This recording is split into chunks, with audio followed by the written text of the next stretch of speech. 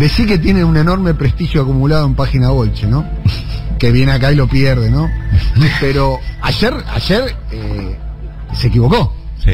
Es la primera vez que da una noticia de Sarasa y, y la pifia. Tuvo un Dijo pálpito. que no va a haber ningún anuncio. Tenía el pálpito, dijo. No, no, no. Dijo no va a haber ningún anuncio. Es más, hasta te diría, te diría, te diría que lo descansó un poquitito a Sarasa. ¿eh? ¿O no? Hay Me una ruptura ahí. la ausencia de Rulo de la Torre. Estoy, en serio, estoy. Por favor, mándenle un WhatsApp a ver si eh, tiene las lo- los dos tildes marcados. Rulo, mi amigo Rulo. Ah, ¿Qué pasa, Toñetti? ¿Me estás buscando? Estábamos preocupados, Rulo. Primero te quiero Hola. decir algo. ¿Qué pasó? Ayer No, no, te me, di- me- me- me llegó, pero pero no no por por WhatsApp, me llegó así como están hablando de vos, ¿viste? Este tipo de cosas. Google ayer tuviste tu Waterloo, ¿eh? ¿Por qué dice eso? Porque ayer dijiste que no iba a haber ningún anuncio y lo descansaste a, a Martín. Sí, sí, sí, la verdad que Te sí. equivocaste. Eh, no, tenía informa- tenía información parcial. La información parcial Tenías era correcta, información pero era pero era parcial. Este, Está muy raro esta semana. ¿En qué andarás, Rulo? ¿quién yo? Raro. Sí, vos, sí, vos, sí, sí, vos. No, Está eso- raro, ¿eh? Eso, Está eso todo muy raro, ¿eh? A ver, primero, déjame pasar limpio lo de ayer. Sí. eh, eh, el Ministerio de Economía lo único que tenía para dar es algún algún refuerzo que fuera medio base de, las paritarias, como decirle, bueno, vamos, vamos a poner un pisito a, la a las paritarias, estableciendo un bono este, para los trabajadores en relación de dependencia, una cosa así. Después, durante el día, se fueron otras, se fueron agregando una serie de medidas que no estaban en, los, este, en lo que se había conversado durante el fin de semana en Chapalmalal. Es decir, no fueron, o sea, que lo que estoy diciendo no, te- no tuvieron origen en la propuesta del Ministerio de Economía, todo lo que se anunció a la tarde. ¿Tuvieron origen en qué área? ¿En el área más ligada al ministro de Seguridad, Juanchi Zabaleta? Por ejemplo, en el, el- o, o directamente de presidencia, el, quizá del área de trabajo, o de las, de, de- de las áreas de seguridad social, eh, donde se venía analizando el tema si, si ponemos un IFE no ponemos un IFE o qué forma le damos algún tipo de ayuda para toda esta esta franja de sectores vulnerables que, que, que no la van a ver ni pasar. Este, me parece que fue una un, un, digamos, se hizo un mix, una ensalada que se fue elaborando durante todo el día, la tarde inclusive. Hubo un momento, te digo, que inclusive a primera hora de la tarde, donde se iba, se empezó a correr la hora que a la que cual se iban a hacer los anuncios y se fue cambiando casi permanentemente quiénes iban a hacer los anuncios. Se iban a hacer tres ministros, eh, o sea, ya había desaparecido la posibilidad que fuera Guzmán solo. Si iba a ser con o sin el presidente de la nación. Digamos, fue un- una medida que salió medio así, este, en, en base o, a partir de, una serie de tironeos entre, distintas áreas y, bueno, y obviamente el peso de la situación política y, y la necesidad y de las expectativas que se, se iban creando, ¿no? Con lo cual, si a esa hora salían nada más que con el con, un bono este y un bono bastante mezquino por, por los valores que se manejaban y claro el gobierno por lo menos esta vez midió que el costo político que iba a pagar era, altísimo ¿Podemos hacer un repaso de, de los anuncios? Eh, ¿Te parece? ¿Lo tenés ahí presente? De, de cuánto es, a quiénes afectan y, y eventualmente qué trámite hay que hacer, Rulo? a ver no tengo esta memoria porque no lo tengo adelante pero eh, básicamente es una ayuda que en general trata de redondear unos un aumento de 18 mil pesos en bolsillo y por única vez para la, la mayor cantidad de sectores posibles. En el caso, por ejemplo, de trabajadoras en casas particulares se hacen dos veces de, de 9 y 9 para que lo cobren en dos meses. En otros casos, en el caso de los jubilados, que ya se le había dado un bono de 6 mil pesos, se le da un adicional de 12 mil para que lleguen a 18. eh, eso se va a hacer una sola vez, y hay una medida para en general para sectores vulnerables, monotributistas eh, y demás de 18 mil eh, pesos también, que habrá ver cómo, cómo se implementa eso o con qué, eh, ¿cómo se dice? con qué padrón se haría para ver quiénes son los efectivamente alcanzados, porque algunos dicen que no va a ser tan amplio como el IFE, entonces cuando dicen no tan amplio hay que ver quiénes son los que quedan afuera, si, si eso es cierto, así que eso no estuvo claro, no estuvo anunciado.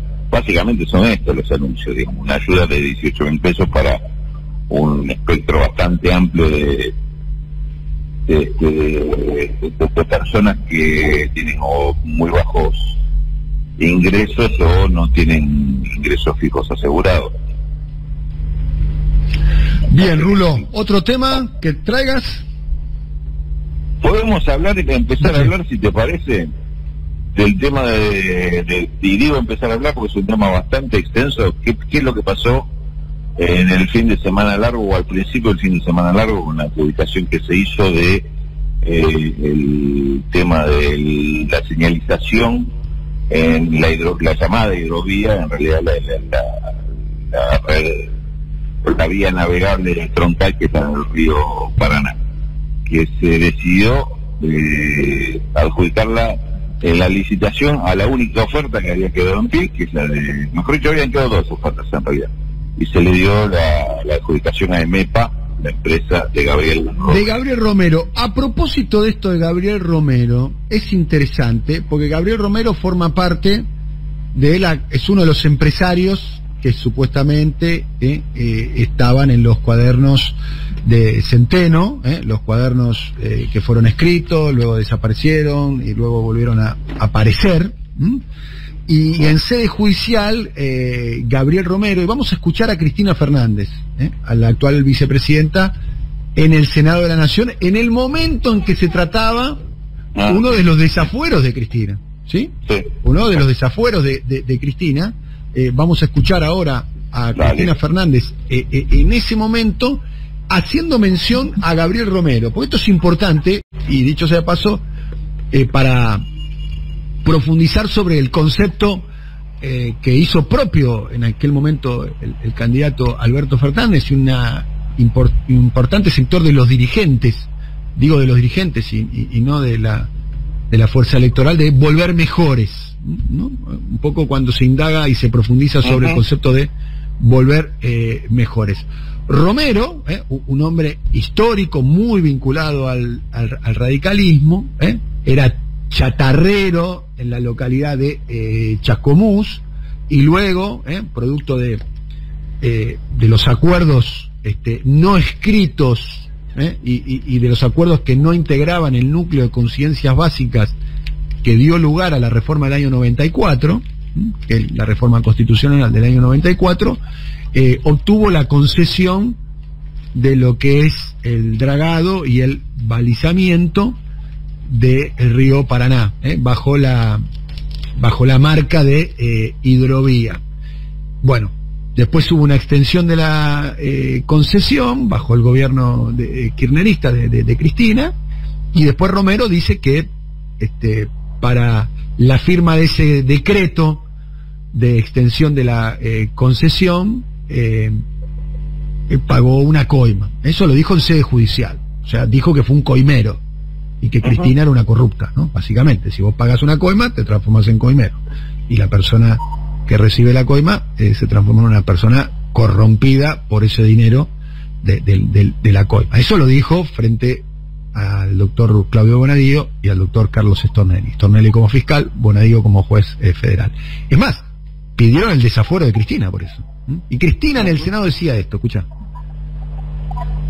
Un empresario confesó que pagó 600 mil dólares por un decreto de Cristina Kirchner. Pedí el decreto. Pedí el decreto, señora presidenta. El empresario es Gabriel Romero, que no es un empresario K. Gabriel Romero empezó, era chatarrero, creo Empezó como empresario cuando le vendieron los talleres de EMEPA en Chascomús, no en Calafate ni en Río Gallegos, ni existíamos nosotros. Ahí empezó su despegue como empresario y si tiene alguna cercanía no es con los K ni con una familia presidencial K, en absoluto. Este empresario, siempre a tenor de lo que titulan los diarios, decía que había tenido que pagar 600 mil dólares por un decreto que yo había firmado. Lo pedí. Todos sabemos que la mayoría de los decretos que firmamos los presidentes están dentro de la esfera de las facultades discrecionales que el Poder Ejecutivo tiene y que le asigna la Constitución. Pero este no era el caso. Estábamos ante un decreto que claramente establecía un método de construcción de la decisión en la cual el presidente lo único que podía hacer cuando esto culminaba era ratificar lo que había venido a sus manos, porque antes, antes de sus manos había pasado por la del procurador de la Nación, que tenía obligación de dictaminar y lo modificó. Con la UNIREM, que hizo audiencia pública y lo modificó. Con la Sindicatura General de la Nación. Y con este cuerpo, señora Presidenta, tenía la, el acta, acuerdo que yo ratifiqué como Presidenta el 10 de diciembre del 2008, por unanimidad, unanimidad, sancionaron una ley de tres artículos en los cuales, en los cuales se modificaba o se aclaraba cómo debía liquidarse el IVA, el impuesto al valor agregado, en todas las tareas de balizamiento, dragado, etcétera. O sea, no pusieron hidrovía porque quedaba mal en la ley. Pero lo cierto es que en una ley de tres artículos, para subsanar esa diferencia de interpretación, y digo que es notable porque a mí como presidente se me había implosionado el bloque oficialista. A partir del conflicto con la 125, algunos diputados, diputadas, algunos senadores, senadoras se habían ido. Estaba en ciernes la conformación de lo que después más tarde sería el Grupo A, con lo cual conseguir, nunca, nunca pude conseguir una ley de estas características, tributaria, condonatoria, condonatoria de una gran suma de dinero en materia de impuestos por unanimidad. Deberíamos considerar a este empresario como un aporte importante a la unidad nacional. Todos que están tan preocupados por saltar la grieta, aparentemente su ductilidad y sus capacidades son mucho mejor que la mía, que las nuestras, todas en general, que seguimos votando en forma dividida. Hay, hay una ironía, ¿no? Eh, cuando dice saltar la grieta Cristina refiriéndose a Gabriel Romero, ¿no? Una ironía que se verifica ahora, ¿no? Sí, claro. Rulo, te escuchamos.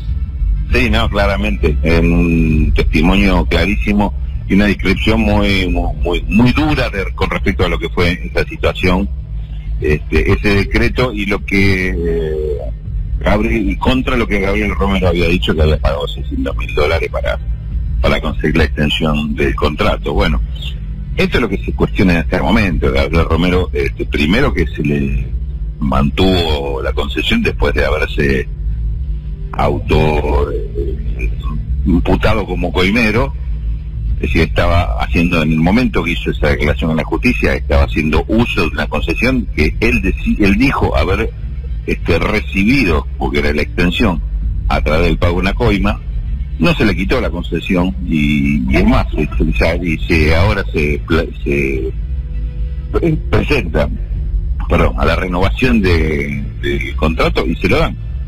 Digamos, esto es lo, que queda en, medio de, por lo menos de, de una nubareda este, que, que deja ver muy poco qué es lo que hay detrás. Es muy extraño esto.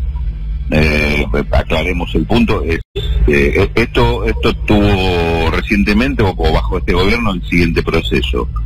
Este gobierno se hace cargo cuando todavía estaba vigente la concesión eh, a- de la hidrovía, la, eh, a una sociedad que constituían EMEPA y Jean de Null. Eh, para Jean de Null era la encargada, la empresa belga encargada de la parte de dragado y EMEPA la de la señal- señalización y bollado de- de la vía navegable, que habían participado juntos eh, inicialmente en el proceso. Después hubo bastante controversias y, diferencias entre los dos socios y ya eh, posteriormente no iban a participar más juntos.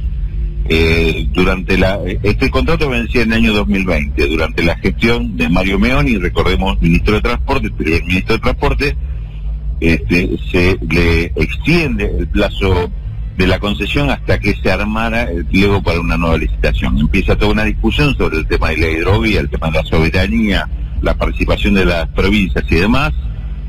hay un decreto 949 del año 2020 que establece todo un, nuevo mecanismo que no se cumplió, que supuestamente federalizaba todo este proceso. Fallece Meoni posteriormente en un accidente, accidente vial, eh, y asume Alexis Herrera. Lo que se hace a partir de ahí es que se le adjudica a la Administración General de Puertos la facultad de hacer un contrato corto, en ese momento se habló de 18 meses, para mantener el servicio de mantenimiento de, la hidrovía hasta que hubiera un pliego de licitación para un contrato más extenso por 10 años. Este contrato corto es el que recién ahora se está eh, haciendo, en el caso de, la señalización.